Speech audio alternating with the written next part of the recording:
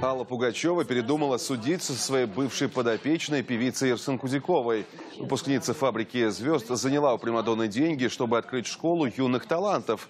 Ну, открыть-то открыли, а вот с доходами, с деньгами, возвращением долга возникли проблемы. Причем какие? Молодая артистка должна была вернуть средства еще два года назад.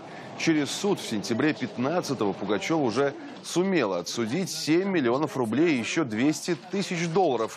Но это оказалась не вся сумма. В итоге, как стало известно Лайфу, арбитражный суд Москвы прекратил производство по иску по заявлению самой Аллы Борисовны.